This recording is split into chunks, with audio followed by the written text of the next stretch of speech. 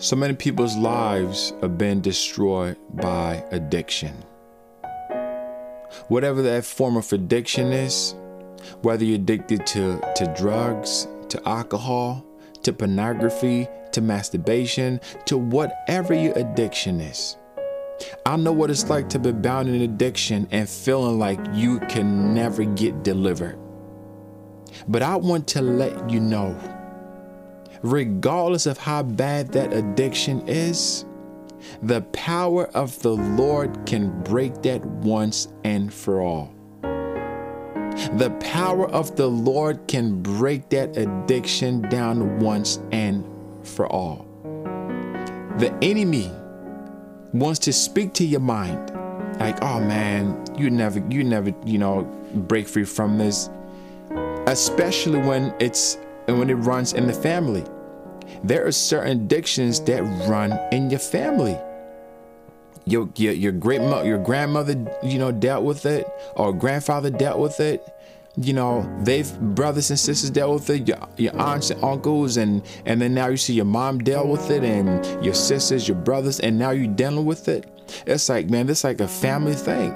But I want to let you know that God will set you free from there. God will set you free. So if you're dealing with any type of addiction, I want to encourage you not to give up because God came, He came to set the captives free. Whatever is binding you right now, I just break that chain in the name of Jesus that you're going to be set free from any form of addiction, whatever it is. I just combine my faith with yours right now and I want you to receive it. I want you to receive that. In the name of Jesus, you're going to be set free.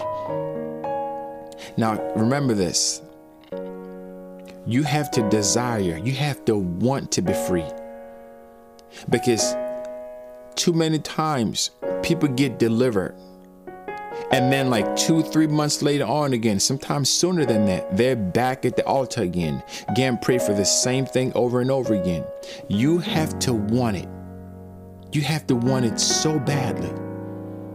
And then you have to surround yourself with a new company. You cannot get healed from the place that got you sick.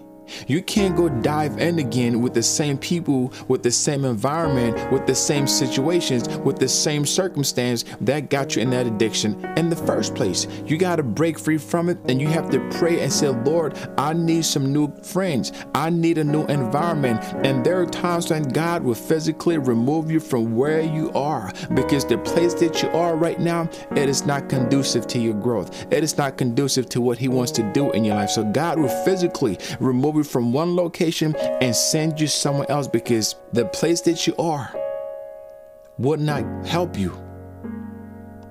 So I pray that you will allow the Lord to lead you in the right direction. You will allow Him to just take you from wherever you are to wherever He needs you to go. That addiction will break because, listen, here's the thing whatever addiction that you don't break or overcome, it's going to be passed down to your children. And the reason why you notice that in the family the same thing run over and over and over again is no one ever stood up and fought for it. But that's going to be you. You're going to be addiction breaker in your family. God is going to raise you up so you can break whatever form of addiction that you're dealing with so it will not be passed down to your children, your grandchildren, or anybody else in your family. Listen, it stops with you. No more.